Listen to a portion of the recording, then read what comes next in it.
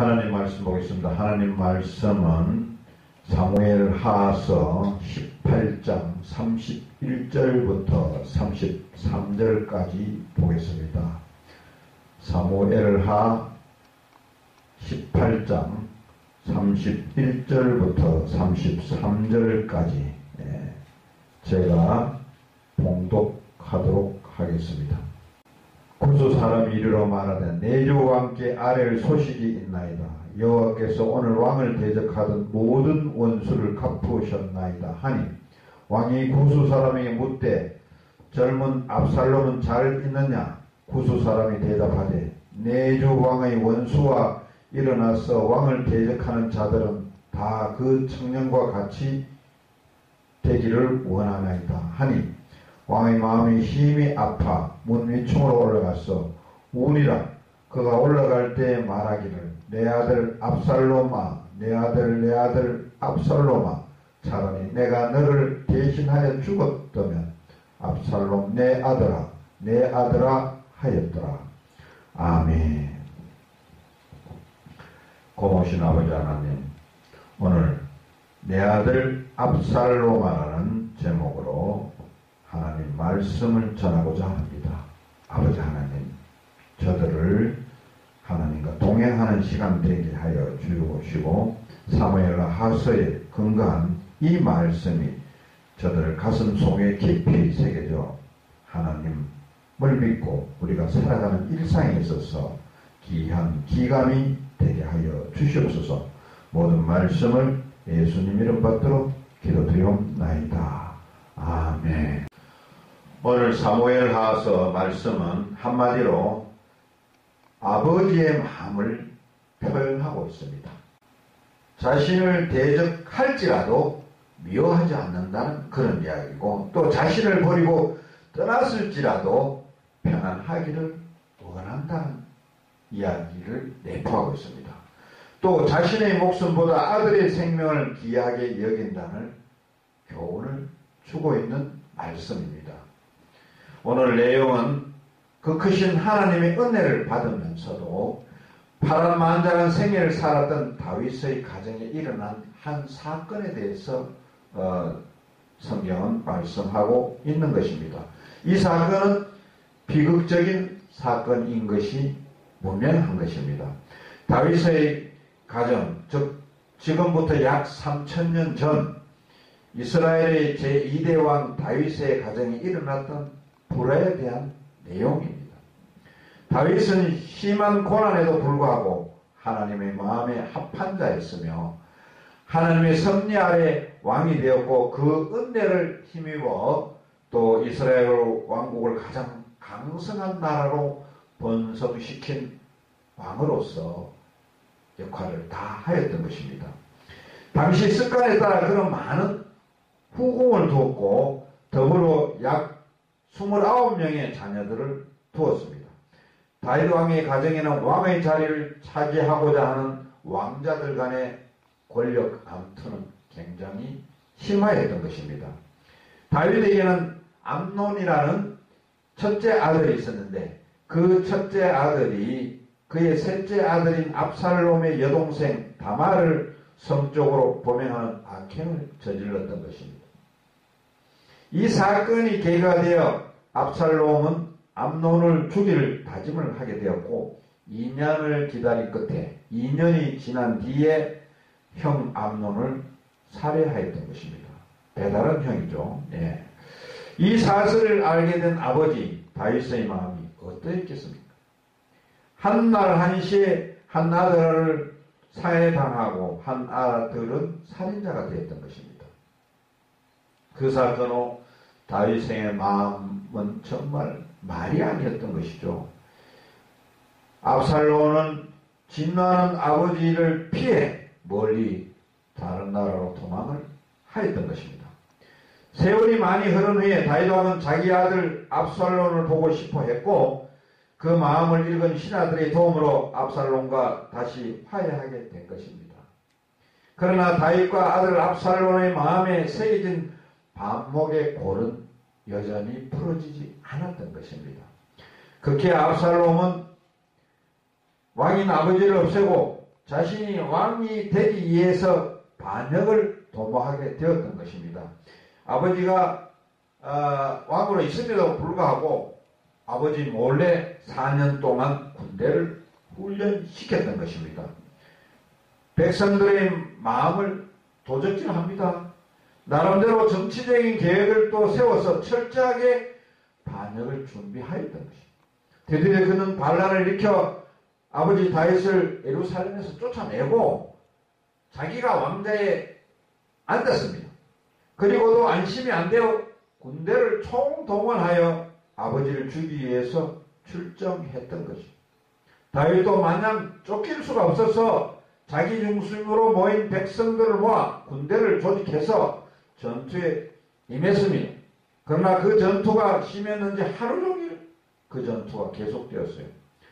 불행하게도 아버지와 아들의 싸움에서 압살롬은 다윗의 군대 장관 요압에게 비참하게 죽임을 당했습니다. 전쟁은 다윗의 승리로 끝났습니다.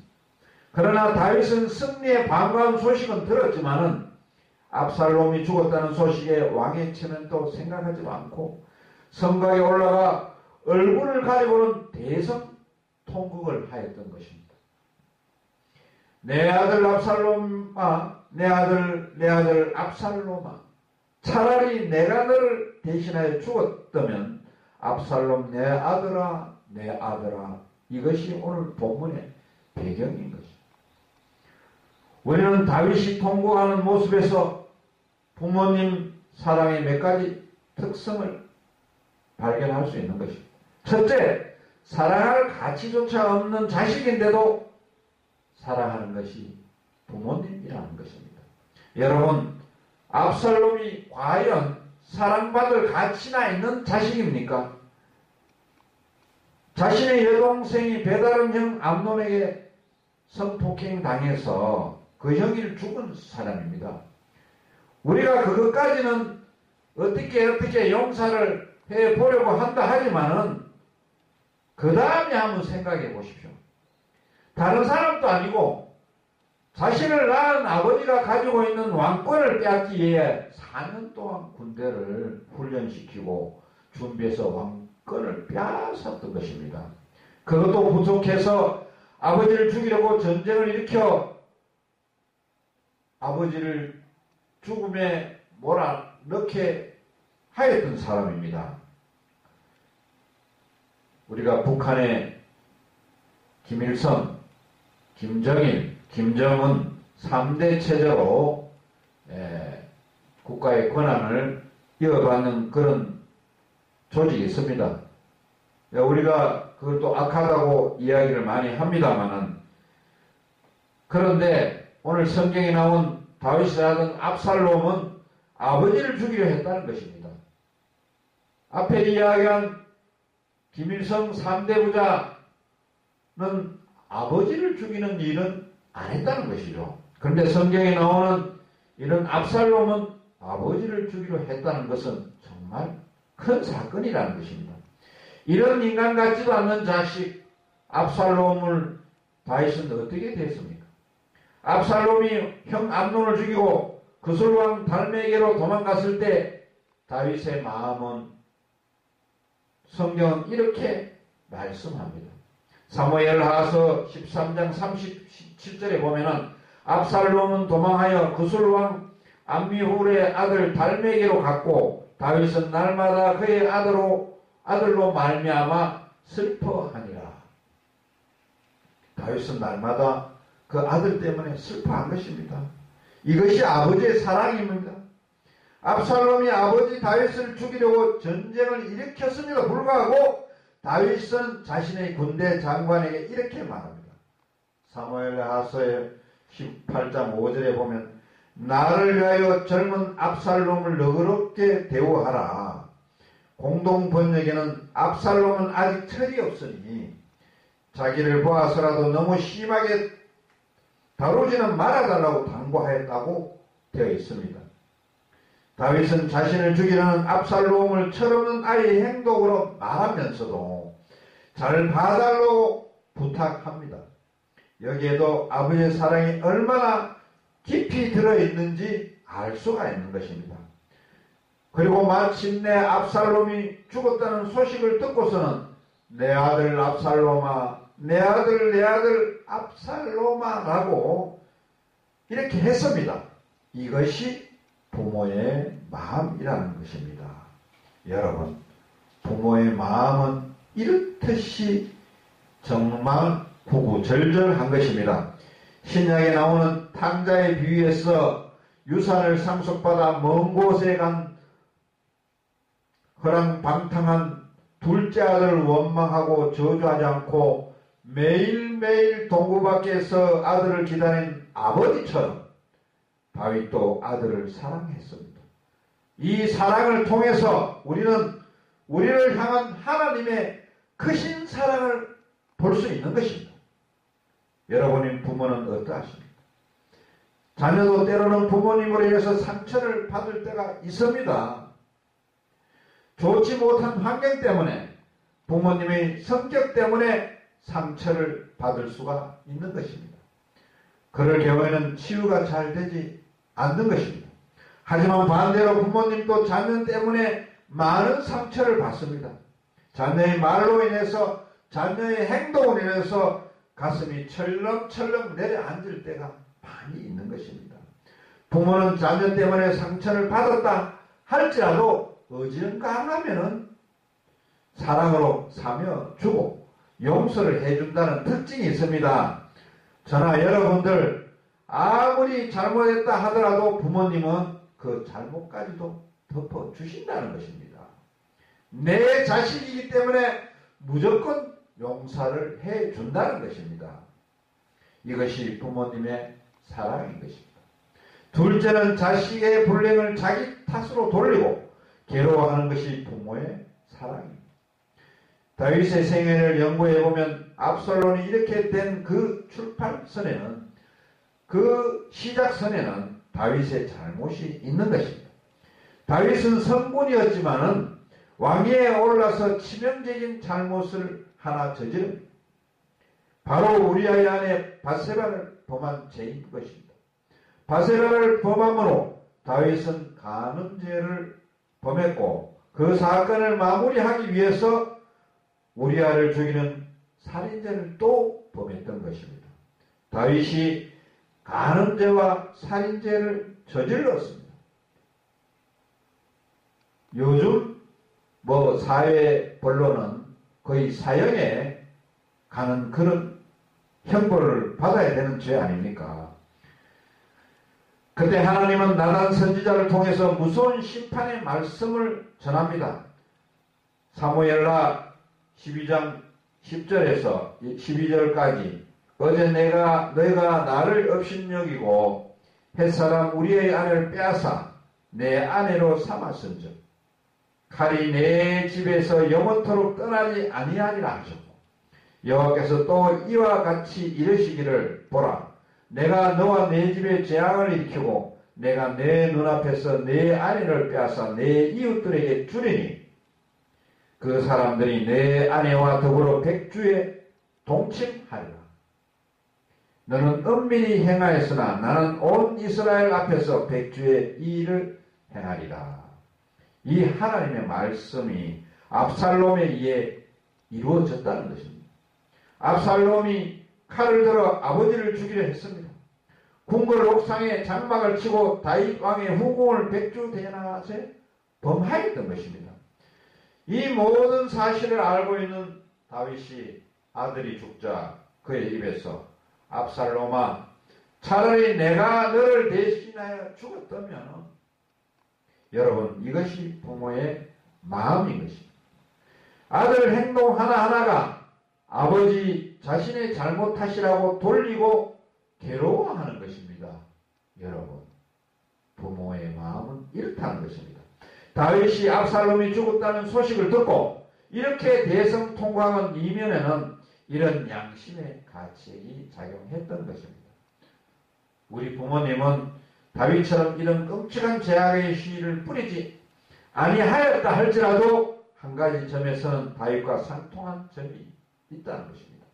그것은 자식이 잘 되는 것을 보면 그 공로는 자식에게 돌리지만 자식이 잘못되고 힘들어하면 그 책임은 부모에게 있다는 것을 지우고 있다는 것입니다.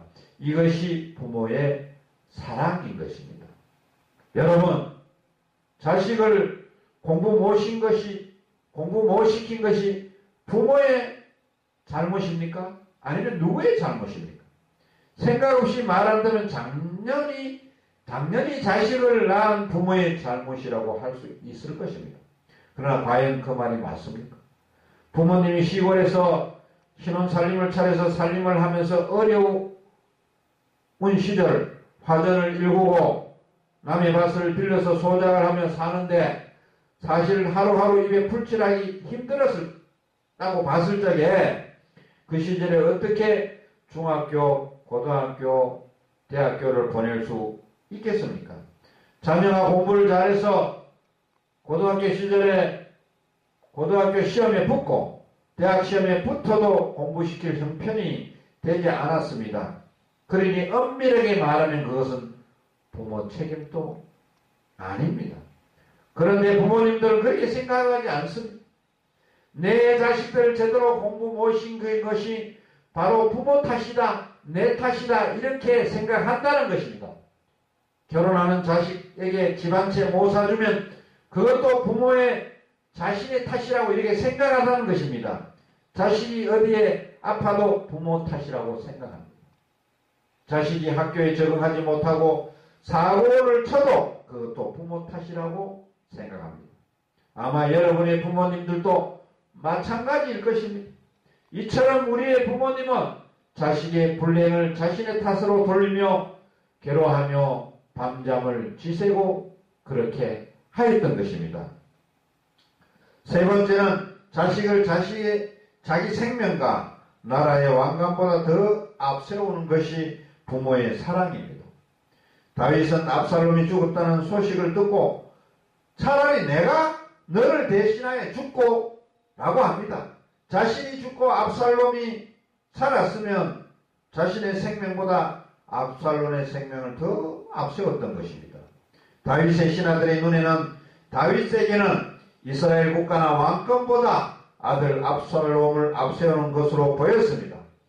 이것이 부모님의 사랑인 것입니다. 여러분의 부모님의 삶도 그렇지 않았겠습니까?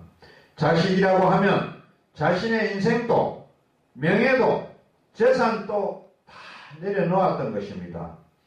제 경우도 어려서 가난한 집에서 자랐지만은 무엇이 필요로 할 때 부모님께 거절당해 본 적이 없었습니다.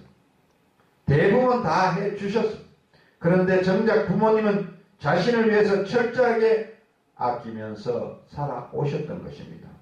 여러분, 사랑할 가치조차 없는 자식인데도 사랑하는 부모님, 자식의 불행을 자신의 탓으로 돌리면서 괴로워하는 부모님, 자식을 자신의 생명보다 귀하게 여기시는 부모님을 한번 조용히 생각해 보세요.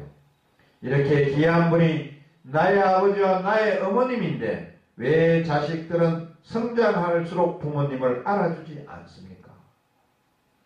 유교 문화에 젖어 살 때 부모가 아무리 늙어서도 존경받았습니다. 유교와 비교할 수 없는 기독교를 믿으면서도 부모님을 향한 사랑이 부족한 이유는 무엇입니까? 사실 지금 우리들이 부모님을 대하는 모습은 하나님 앞에서 회개할 부분이 많이 있음을 인정해야 하는 것입니다. 이제 우리는 이런 현실을 아시고 지금의 부모님 자리에 나도 멀지 않아 그 자리에 간다. 나도 그 자리에 곧 서게 된다. 이런 사실을 알고 처지를 바꿔서 생각할 수 있어야 되겠습니다. 그래서 억지라도 노력함으로 부모님을 공경하고 효도하며 살아가는 저와 여러분들이 되시며 우리 모두가 되시기를 축원드리겠습니다. 기도드리겠습니다.